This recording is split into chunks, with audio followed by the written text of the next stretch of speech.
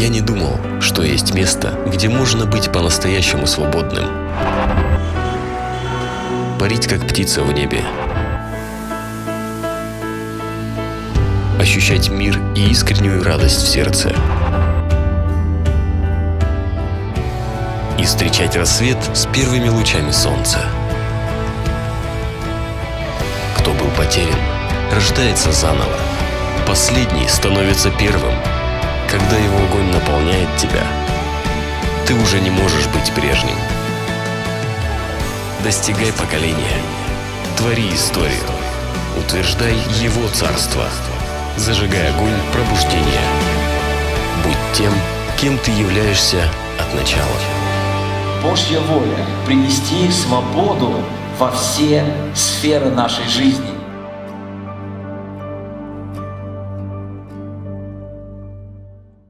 Аллилуйя, аллилуйя. Знаешь, действительно, когда ты соединяешься с Богом, ты соединяешься с Его жизнью, эта жизнь, она пробуждает тебя. Знаешь, так, так важно войти в Божий поток. Мы пели о Божьем потоке.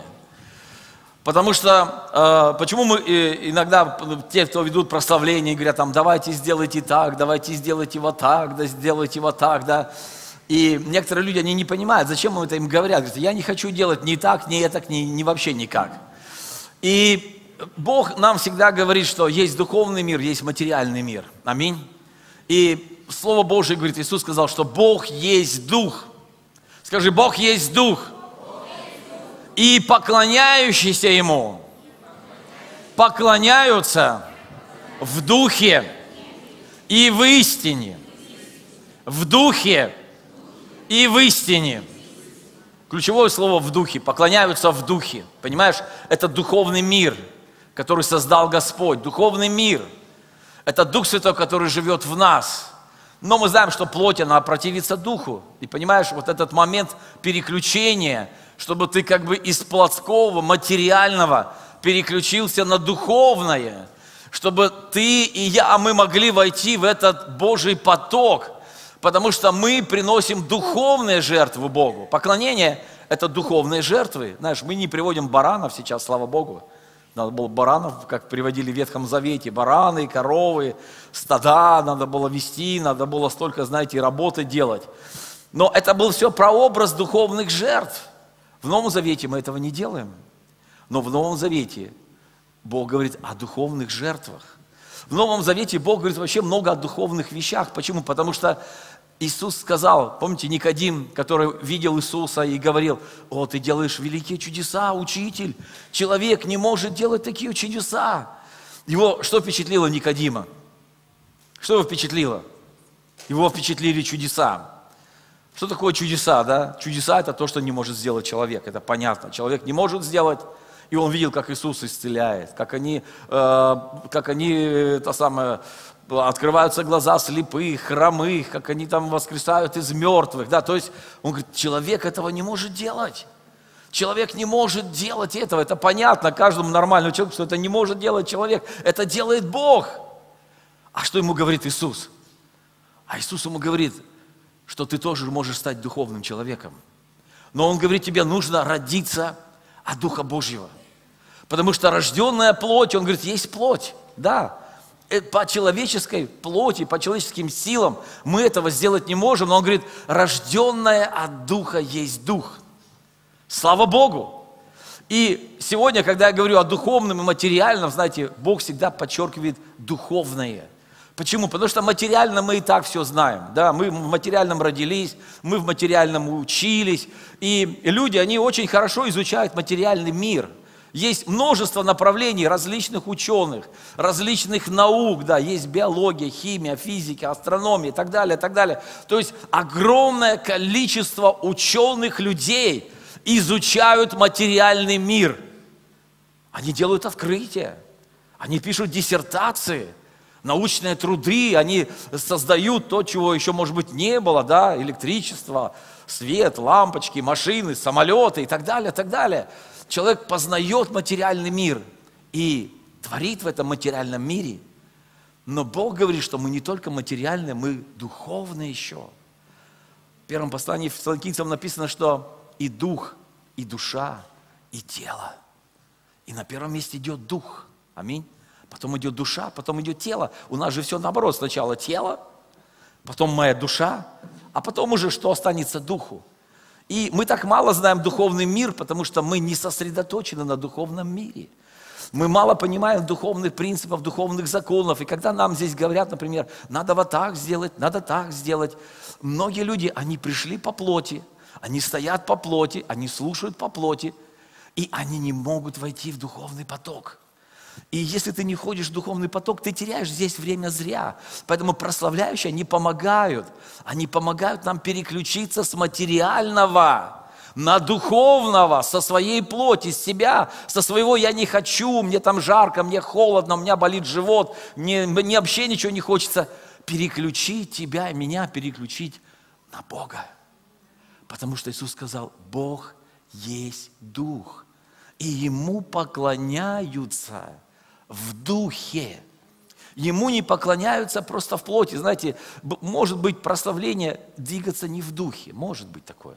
Они могут быть петь просто песенки и, и как бы вот эти песни. Они могут быть христианские песни, друзья. Про Бога могут быть песни. Но там нет потока. Понимаете? Там нет потока. Они могут нам нравиться эти песни. Мы часто говорим, о, мне так нравится эта песня, а мне нравится вот эта песня, а мне нравится та песня. Но мы должны понять, что эти песни не для нас, хотя не для нас тоже. Но мы их адресуем Богу, это же духовные жертвы. Аминь. Мы кому поклоняемся? Мы поклоняемся Богу, мы приносим Ему духовные жертвы. Поэтому, когда ты пришел сюда, ты не на концерт же пришел, не на лекцию послушать Слово. Ты пришел встретиться с Богом. Аминь. И поэтому, что предшествует этому, как написано, во врата мы сходим со словословием, мы во, мы во дворы идем с хвалою. О чем это говорится?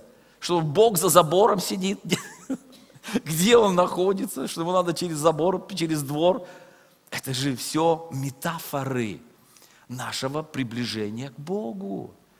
Дворы, врата, это все вещественное, материальное как бы, да? Но из этого мы должны прийти в святое святых. Мы должны прийти туда, где Господь. А где Он Господь? Он всегда здесь, но Он говорит, что вы должны соприкоснуться с духовным миром. С духовным миром, и вы входите туда по определенным духовным законам. Да, нам, может быть, не хочется, нам не нравится, Бог говорит, но без этого ключа вы туда не войдете. Но если вы не войдете в соприкосновение с Богом, то вы и не получите духовного благословения. А ведь нам написано, что мы благословлены всяким духовным благословением – знаешь, мы часто радуемся материальным благословениям, да, кому-то подарили там ботинки, он говорит, слава Богу, мне подарили ботинки, мне так нравятся эти ботинки. Слава Богу, конечно. Что ж против твоих ботинок, да, что у тебя новые ботинки, слава Богу. Но ты понимаешь, что Бог хочет нам показать, что все приходит из духовного мира – даже твои ботинки, они пришли из духовного мира. Нет, нет, мне, мне их купили в магазине, ты говоришь, да, их купили в магазине. Ну кто тебе их купил? Кого побудил Бог купить тебе ботинки? И почему Он тебе купил эти ботинки? Аминь. По какой причине Он тебе их купил? По причине того, что Бог расположил чье-то сердце. Бог кому-то сказал, я хочу благословить там, этого брата там, или эту сестру. Если ты послушан, опять же, Духу Святому, ты это сделал. Если ты не послушал, ты проигнорировал, сказал, да зачем ему нужны ботинки, у него он есть ботинки. Я это просто говорю условно, потому что когда мы тормозим в духовном, мы теряем в материальном. Я думаю, что многие люди были бы гораздо больше благословлены, если бы мы все слушали Дух Святой. Когда Дух Святой говорит, помоги вот этому, или благослови того, или сделай вот так-то, да? Если мы чувствительны, если мы послушны, послушны, эти благословения, они приходят. Аминь. И их было бы гораздо больше, если бы мы были более и более чувствительны и послушны Духу Святому. Аминь. И поэтому, когда мы говорим о духовном, материальном мире, здесь мы сталкиваемся с материальным духовным миром. Потому что человек – дух, душа и тело. У нас есть материальное наше тело, но у нас есть и духовное, наша душа. Аминь. И мы встречаемся с Богом на уровне нашего духа. И также на уровне нашей души, потому что Бог говорит нам через мысли. Я не знаю, это очень редко бывает, когда вот тебе явился горящий куст, вот зашел в церковь, горящий куст, загорелся здесь, колонка загорелась, говорит, так говорит Господь. Говорит, надо тушить, надо тушить. Говорит, да не тушите, это я вам просто хочу сказать, не несите огнетушители. Она не сгорит, да? Так часто было во время пробуждений, да? Так было в книге Деяний апостолов, когда языки огненные сошли на апостолов, когда они там молились. Аминь. Но это же был не физический огонь, иначе бы они все в пепел превратились. Мы больше бы не узнали, это был бы первый крематорий, наверное, а не первая церковь. Но это были духовные языки, да? Они были видимы, но они пришли из духовного мира, потому что Бог, что? Бог дал свою печать Духа Святого. Аминь. И после этого мы читаем, Духом пламенейте, Господу служите. Да, мы служим во плоти, но Бог говорит, если твой дух не горит, это служение Богу не нужно. Ты понимаешь? Как важно понимать духовные вещи, духовные принципы. И когда здесь идет поклонение, и когда Бог принимает это поклонение, приходит присутствие Бога как печать, потому что Дух Святой олицетворяет печать, что Бог говорит, я принимаю эту жертву. Я принимаю эту жертву. И Дух Святой говорит нам о том, что Бог принял. И мы говорим, какое было присутствие, да, какое было помазание, какое было движение. Почему? Потому что мы угодили Богу, и Бог это принял. И поэтому также на нашей жизни, друзья, есть люди помазанные. И это помазание говорит, что я помазал этих людей. Для чего? Для определенных служений, для определенного действия. Как Иисус говорил, что Дух Господень на мне, ибо Он помазал меня. Аминь. Да, Он был как человек, Он был во всем подобен нам. Но помазание или сила Святого Духа, она делала эти чудеса. Она делала его не похожим на всех фарисеев и книжников.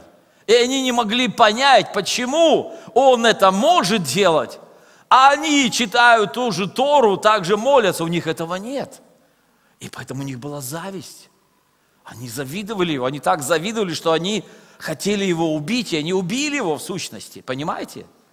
Вы знаете, что вот именно вот эта реакция, она всегда происходит, духовный мир, который создал Господь в начале, да, он был наполнен только Богом и его ангелами. Но когда произошел мятеж, когда Люцифер восстал против Бога, и написано, он увлек треть ангелов, то возникло другое еще царство духовное. Царство света и царство тьмы. И с этого момента началось противостояние двух царств. И по сей день идет это противостояние. И когда Бог сотворил землю, она тоже была прекрасна, она была совершенна, она была названа садом или раем – Поэтому для каждого человека рай – это самое лучшее место. Говорит, это рай. Это рай. Как мы говорим, что лучше не бывает? Это рай. Опять пока туда не пришел дьявол, да? Пока он не обманул человека, и человек не отдал ему власть. И он потерял, потерял свою духовную славу.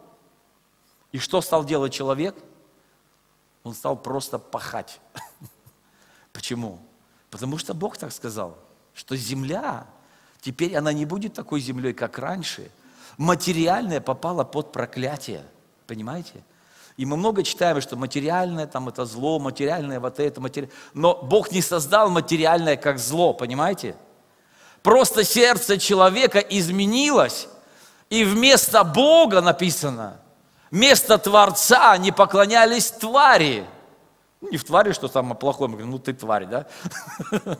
В смысле творению, в смысле материальному, да, вместо духовного Бога они заменили его на видимое, на материальное, и они стали поклоняться материальному. И вот это материальное сейчас, оно очень сильно везде, во всех странах, по всему миру. Почему Бог говорит, вы не можете служить Богу и мамоне? Потому что мамона это как раз таки представляет зависимость человека от материального, от денег, от богатства, от власти, но независимость от Бога. И это такая большая сила, что Иисус говорит, посмотрите, что Иисус говорит, Он сравнивает Бога и Мамону. То есть это не какая-то козявка Мамона там. Он говорит, вы не можете служить Богу и Мамоне. Почему я об этом говорю? Потому что если мы прилеплены к материальному, как мы были всегда раньше прилеплены, и многие сейчас прилеплены, и если взять наши молитвенные нужды, там в основном мы молимся за материальные вещи. Ну, скажите мне аминь. Это. В этом нет ничего плохого, молиться за материально. Но вы знаете, Писание нам всегда говорит, что есть что-то главное. Есть что-то главное, потому что из невидимого произошло видимое. Из невидимого. Из какого невидимого? Из духовного, да? Из духовного произошло.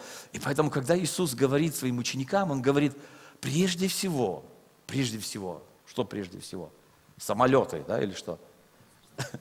Прежде всего, говорит, ищите Царство Божьего. Прежде всего. А перед этим он говорит, Посмотрите, как живут язычники, то есть неверующие, да, как они живут, что занимает сердце, мысли и жизнь язычника или неверующего человека. Говорит, они ищут во что им, что им поесть, что им попить и во что одеться. Три главные вещи, которые занимают жизнь язычника. Но вы, говорит, не такие. У вас есть понимание царства – духовного царства. Аминь. И он говорит, ищите прежде духовного. Ищите Бога, ищите, познавайте. Вот как ученые познают, там они то, познают, что у нас в носу, что у нас в ухе. Я так шучу. Ну просто они там детально так исследуют, они все, они вам все расскажут, что у нас в носу. Ты говоришь, да у меня тоже есть нос, но ты не знаешь, что у тебя в носу. Тем более, что у тебя в ухе. Ты тоже этого не знаешь. Они тебе все расскажут, зачем у тебя то, зачем это. Но я говорю, потому что мы мало познаем Бога. Мы мало познаем того, от которого зависит все. Поэтому Иисус говорит, познавайте Его, Бога, познавайте Его закон, Его царство. Потому что остальное, чего ищут люди, материального, оно даже просто будет вам прикладываться как бонус. Почему? Потому что материальный мир зависит от духовного мира. Потому что духовный мир влияет на материальный мир. Но мы почему-то упрямо продолжаем сосредотачиваться на материальном мире и оставляем минимум познанию духовного. Но Иисус говорит, так не должно быть. И если мы этого не поймем, если мы не, если мы не изменим свой образ жизни и мысли, то мы будем всегда оставаться в пролете да, в пролете. То есть все будет пролетать мимо нас. Но я верю, что мы здесь люди духовные. Аминь. Вы духовные люди? Вы же пришли духовной пищи поесть, правда? Духовного питья напиться. Аминь. Слава Богу. Я вернусь немножечко, и я прочитаю несколько стихов.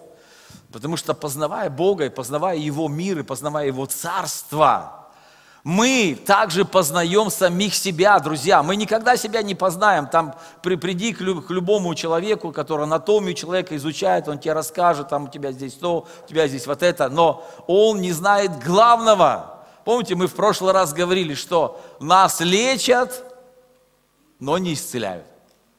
Лечат. То есть э, они имеют дело с материальным. Да? Люди научены материальному мышлению, материальной науке – и если врач лечит какую-то болезнь, он прежде, прежде всего говорит, где у вас болит? Что у вас болит? Говорит, доктор, у меня болит это. И мы объясняем, что у меня болит. И мы много-много говорили, да, что болезнь это, это только сигнал, сигнал проблемы, да, которая есть в определенном участке нашего тела, но источник проблемы, он может быть совсем не в нашем теле, да, он может быть в нашей душе он может быть в наследственности. То есть все уходит куда? В духовное. Понимаете? И если в духовном ничего не изменяется, то и в физическом ничего не изменяется. Если в духовном изменяется, то и в физическом изменяется. Поэтому то, что делают врачи, да, они лечат, они исцеля... лечат материально, как бы они хотят просто подавить. Самое главное, как и мы хотим, когда у нас есть боль, нам хочется просто, чтобы нас не болело. Все. У нас не болит, мы довольны. А мы не задумываемся, а где причина, да, а где источник. И мы говорили, что 87% болезней, они из-за проблемы души, да, а душа это тоже связано с духовным миром, потому что наши мысли, они нематериальны, наша душа, она нематериальна, наши эмоции, они нематериальны, их нельзя потрогать, правда, их нельзя пощупать. И поэтому Бог хочет, чтобы мы познали Его, потому что познавая Его, познавая Его мир, познавая Его законы, мы также познаем себя. Почему? Потому что мы устроены по образу и подобию Бога. И не зная Бога, мы ни себя никогда не узнаем. Мы не поймем, что Бог хочет сделать в нашей жизни, что и как Бог хочет сделать в нашей жизни. Я вам прочитаю из послания к римлянам, 11 глава, 33 стих. «О бездна богатства и премудрости и ведения Божьего, как непостижимы судьбы Его и неследимы пути Его.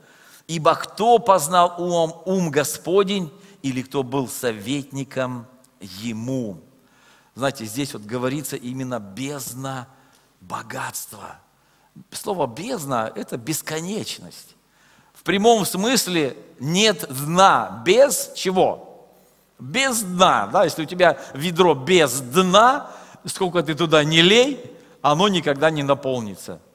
И вот он сравнит, что Бог, Он бесконечен. Его мудрость, она бесконечна. Его ведение, оно бесконечно. Но Бог призывает познавать, познавать Его. Аминь.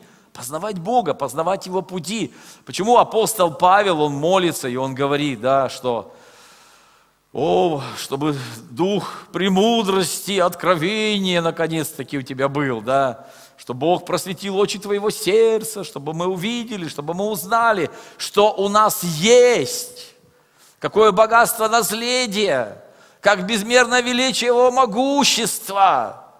Почему он об этом говорит? Потому что верующие этого не знали. Они смотрели на себя в зеркало, говорили, ну вот это я. А Бог говорит, нет, это не только ты, в тебе еще Бог есть. И если ты не познаешь, какой Бог, ты не познаешь, какой и ты, что ты можешь сделать вместе с Богом. Аминь. Потому что всегда есть противостояние духовному познанию. Мы говорили в римлянам, что есть мысли, которые противятся познанию Бога. Что думаете, они сами по себе, что ли, противятся? Нет.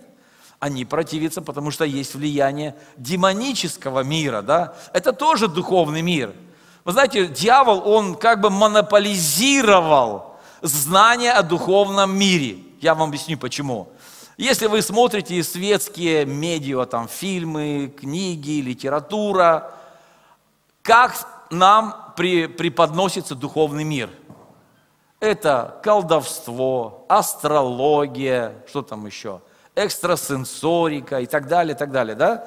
То есть дьявол показывает свою часть духовного мира. И люди в большинстве, в своей массе, они именно так и представляют духовный мир – Потому что они не слышат о Боге, они не знают о Боге, они не знают о другой стороне духовного мира. И они идут в другую сторону. И, конечно же, дьявол, как говорится, с одной стороны, он что-то дает тебе, но он у тебя гораздо больше забирает. И поэтому Бог хочет, чтобы церковь, то есть мы с вами, мы сами познали Бога, и мы говорили о Боге мы расширяли вот, это, вот эти границы, да, которые очень маленькие у людей. Многие люди вообще представления не имеют о Царстве Божьем, они не имеют представления о Боге, кто такой Бог, где Он живет, как Его зовут, да, чем Он занимается. Но Бог и сказал, что вы призваны, чтобы познавать Бога и рассказывать о Боге. Конечно, наш ресурс несопоставим, например, с ресурсами да, средств массовой информации. Потому что те, те небольшие вот, ну, как бы всплески истины, которые были до определенного года, я имею евангельских проповедников, и их сейчас практически нигде нет, да? Если есть на каналах, например, то только православные. И то, даже если сравнить, сколько они вещают, и сколько идет сериалов, фильмов, от Гарри Поттера до Гарри Шмотера, я не знаю кого еще, то есть огромное количество, да, которое во всем мире выпускается, а Боге ничего там нет. Ничего нет. И если даже что-то есть, то верующие обычно какие-то с прибамбасами там. Ну, то есть над ними либо смеются, либо издеваются, а вот, а вот, а вот эти, они, они самые умные, не самые мудрые, не самые крутые, да? То есть мы понимаем, почему такая однобокость, почему такая пропаганда. Потому что враг боится, что истина она сделает свободными. И поэтому, прилагая все свои усилия, он держит людей во тьме. А написано, народ гибнет, когда он не знает, у него нет ведения, у него нет истины, и люди просто гибнут. Поэтому у нас, друзья, огромная миссия – у нас огромная миссия, потому что мир лежит во тьме, во зле. Но Он сказал, что вы свет этому миру. То есть Бог так запланировал в Его мудрости. Можно было сказать, Бог, ну почему же так, почему же так? А Бог говорит, именно так. И вы сможете это сделать. Почему мы это сможем сделать, друзья? Потому что так сказал Бог. Не потому что я вам так сказал, потому что так сказал сам Бог. А Бог, Он властелин, он хозяин. Знаете, господин это хозяин. Вообще мы живем на планете, которая принадлежит Богу. И не дьявол хозяин земли, не дьявол хозяин здесь, Бог хозяин. Дьявол незаконно украл это обманом, своим мошенническим обманом, да, он обманул человека, по сути дела. Человек согласился с этим обманом, но его обманули же, правда? Ведь он сказал, вы будете как Бог. Когда он подъезжал к Еве, он говорит, да что ты, что ты, вам ничего не будет. Но вы будете. В нашей Библии написано как боги, да? Но в оригинале написано, вы будете как Бог с большой буквы.